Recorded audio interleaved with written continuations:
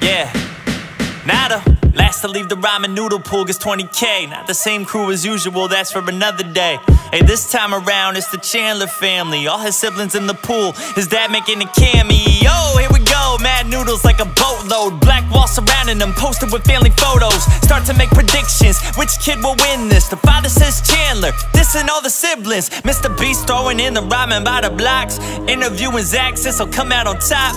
You look like a cyclops that was banner exchanged in a flashback. Another video back to the game. K trash talking in the tub about who gonna make it. She balling up the ramen, but I'm glad nobody ate it. Time passes on, everybody hanging in there. But Jimmy just chilling, FaceTiming Chris out of thin air. They turn on the hot tub, get the temperature higher. Out the blue, water starts shooting up like a geyser. They're making accusation of who's a conniving one. They think it's Jimmy, so they splash him like a diver. Cassidy sorta slips and gets it on her face with some ramen noodles that I suggest no one ever tastes. Then she throws a string of noodles at a family picture. One falls to the ground. Jimmy, what is wrong with you? They're laying at a table the size of the pool's radius, eating food while swimming in some ramen. This is craziness. It's gotta be unappetizing. Yet they continue.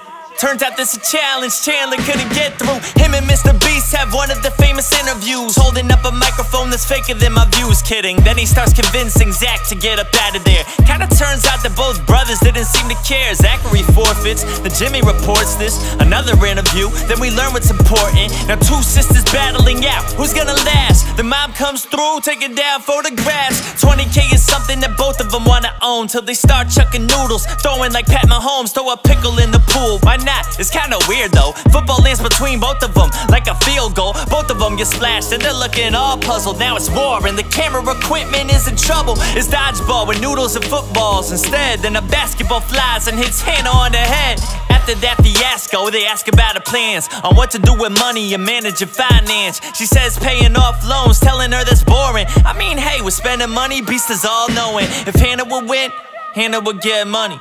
If Hannah gets money, she would buy a pet monkey.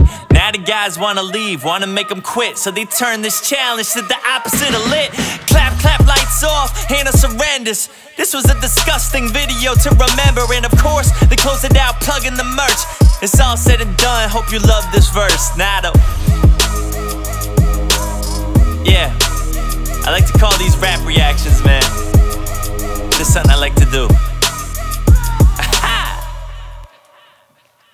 That laugh at the end was kind of corny, not gonna lie.